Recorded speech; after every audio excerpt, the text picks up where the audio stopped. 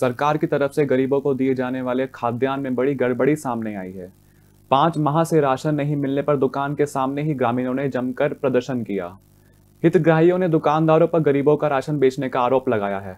अमरपाटन के ग्राम जिन्ना में स्थित शासकीय उचित मूल्य की दुकान के बाहर बड़ी संख्या में एकत्रित होकर हितग्राहियों ने हंगामा किया। इनका आरोप है कि दुकानदार के द्वारा बीते पाँच माह से इन हितग्राहियों को राशन का वितरण नहीं किया गया है और दुकान में भी ताला लटका रहता है। इनकी शिकायत भी स्थानीय जनप्रतिनिधियों ने जिम्मेदार अधिकारियों से की, लेकिन कोई सुध लेने वाला नहीं है। हितग्राहियों ने बताया कि उनकी पर्ची तो काट दी गई, मगर आज तक उनको राशन नहीं मिला।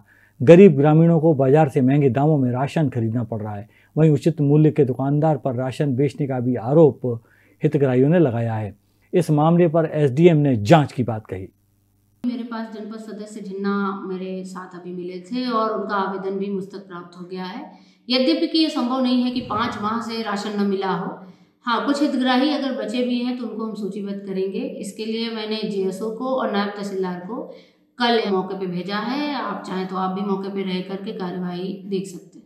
चार महीने कोटे में ताला लगा। कोटेदार नहीं आता फ़ोन लगाए, कोई सुनवाई नहीं होती। गरीब आदमी हम पर भूखर मार रहे हैं।